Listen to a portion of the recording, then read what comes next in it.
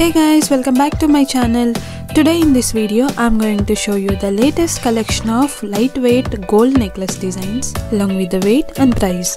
If you are visiting my channel for the first time and if you like my collection, please subscribe my channel for more interesting videos.